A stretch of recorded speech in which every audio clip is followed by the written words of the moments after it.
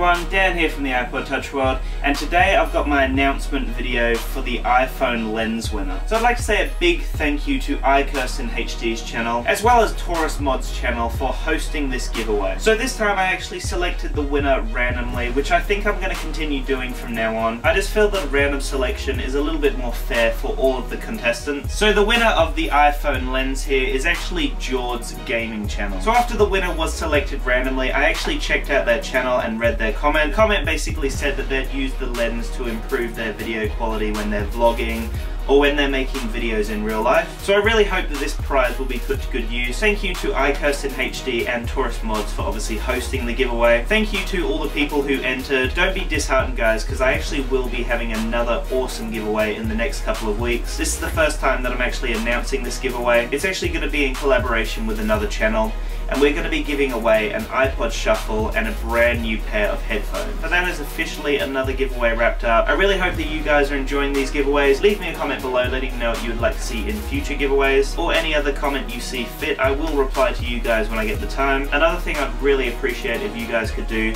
is showing that like button some loving down there. And finally, please make sure to subscribe up here if you haven't already for more giveaways and tech news. But apart from that guys, that's the end of another video, so please make sure to have a great day.